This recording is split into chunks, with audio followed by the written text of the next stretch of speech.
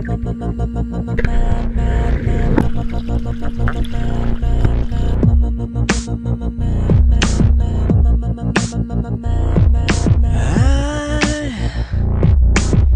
can't get these memories out of my mind.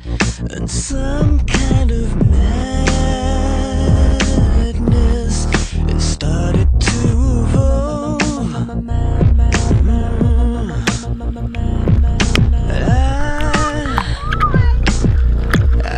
so hard to let you go, but some.